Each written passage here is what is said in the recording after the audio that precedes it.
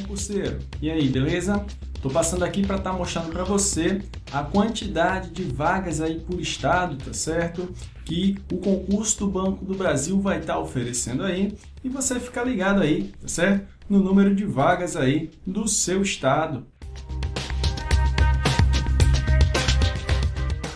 Muito bem, então aqui a gente tem, ó, chamando a atenção Mato Grosso, tá? Com 140 vagas imediatas e outras 143 para cadastro de reserva. Veja que as imediatas e cadastro de reserva são mais ou menos a mesma coisa, tá bom? Uma outra coisa que me perguntam muito é se eles chamam apenas esse cadastro de reserva.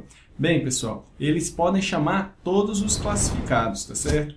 Então, muito provavelmente, tá bom? Isso depende também do futuro aí da instituição, mas a instituição sempre crescendo, se desenvolvendo, a tendência é que chamem mais funcionários, então muitas vezes eles chamam mais do que o cadastro reserva aí, tá certo?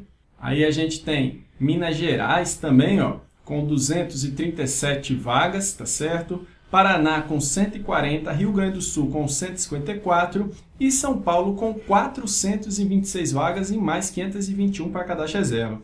A gente tem o Distrito Federal ó, com 240 vagas, tá certo? Mais 240 cadastro reserva. Nota aí, gente, são vagas para todos os estados do país, tá bom? Aí as pessoas também estão me perguntando muito assim, ó, professor, vai ter vaga para o meu município? Deixa eu explicar mais ou menos como é que funciona. Digamos que você vá fazer para o Rio Grande do Norte, tá certo? O Rio Grande do Norte, se você for dar uma olhada aí, tem 12 vagas e 6 cadastros de reserva. Digamos que você passou, mas você mora numa cidade do interior, você mora em Mossoró, tá bom? E aí, como é que fica a sua situação? Onde que você vai trabalhar?